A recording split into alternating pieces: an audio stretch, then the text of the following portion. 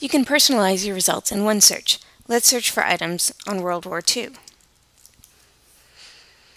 We get nearly 89,000 results, and the first few are very general in nature. On the left-hand side of the screen, you'll see Personalize Your Results. If we click on Edit, you can choose your area of study or interest, for example, medicine. Choosing an area will rearrange the items so that items that match these selections more closely will appear higher in your result list. You can now see number 7 includes global health training. If you do not like the results that are returned, you can click on the X beside Personalized in the top of the middle of your screen. This will remove the area that you've chosen and reorder the results by normal relevance ranking. As always, if you have questions, be sure to ask us.